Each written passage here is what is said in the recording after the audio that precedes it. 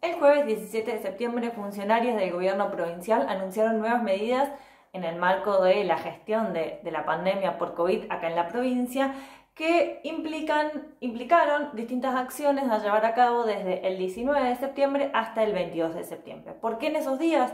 Porque el 21 de septiembre es el Día de los Estudiantes y la primavera y con estas medidas buscaban reducir la circulación de los jóvenes.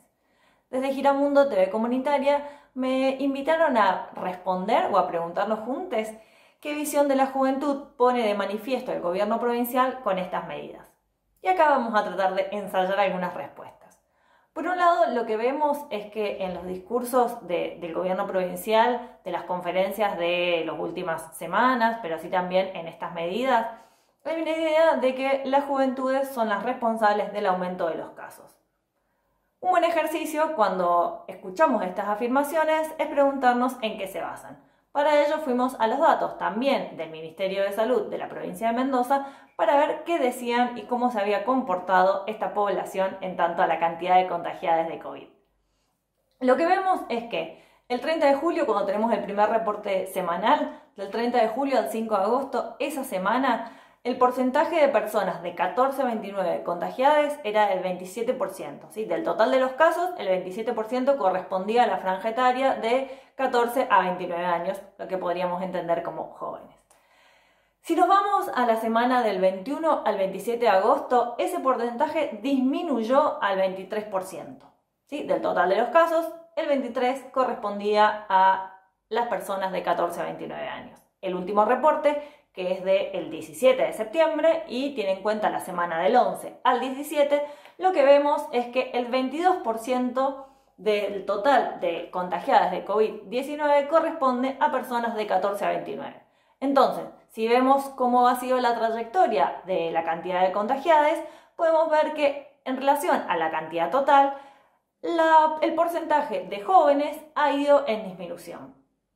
Entonces, ¿por qué el gobierno provincial insiste en que los jóvenes son las principales eh, personas que están transmitiendo el COVID-19?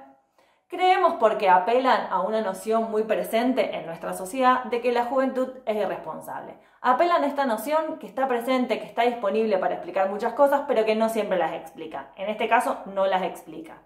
Los contagios han aumentado en la población de 30 a 39, de 40 a 49 y de 50 a 59 esa, población tiene un porcentaje mayor de contagios desde el 30 de julio a la actualidad, mientras que la población joven, desde el 30 de julio hasta hoy, ha ido en disminución.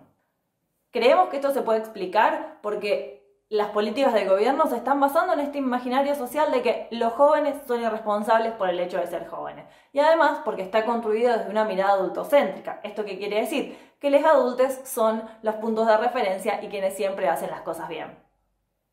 Eh, bien, los datos nos dicen lo contrario. Los datos nos están diciendo que no son los y las jóvenes los sectores que más se contagian, que no necesariamente son los más irresponsables, sino es una noción que está presente lamentablemente en las políticas.